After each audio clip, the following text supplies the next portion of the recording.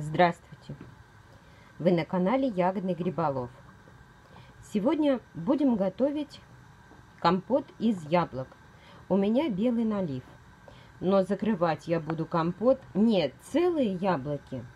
Хотя вот такие хорошие можно положить и целые. Но нет, видите, здесь есть червоточина. Поэтому яблоко буду разрезать. Вот и здесь тоже есть поэтому целые яблоки у меня не получится законсервировать. Для этого яблоки я помыла все. Буду разрезать на пополам и вырезать все пятнышки, какие здесь есть. Ну, а также потемнение и червоточины.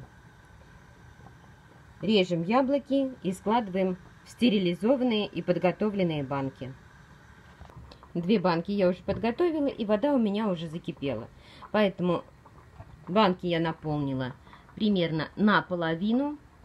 Заливаем их водой. Яблоки я залила кипящей водой. Она кипела, и в это время я заливала банки. Теперь я даю им настояться в течение часа, можно чуть больше. Банки должны остыть. Итак, компот у нас настоялся уже даже больше часа, остыл, стал тепленький. Вы видите, что вода осела. Очень даже хорошо.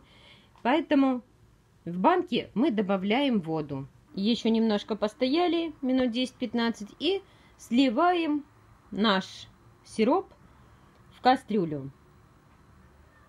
У меня в кастрюлю влазит по две банки. В сироп добавляем сахар из расчета 300 грамм на одну трехлитровую банку.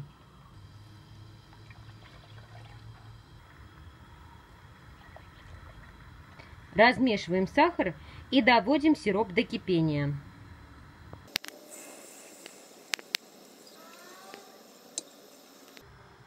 В банке мы добавляем пол чайной ложечки лимонной кислоты без горки.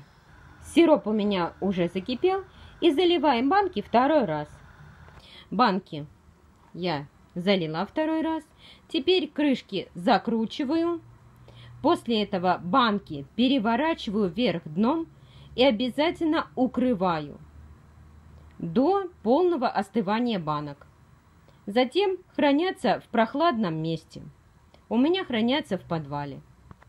Стоят очень хорошо всю зиму. На этом я прощаюсь с вами. Подписывайтесь, кто не подписался. Ставьте лайки, делайте репосты, оставляйте свои комментарии. До новых встреч на канале Ягодный Гриболов.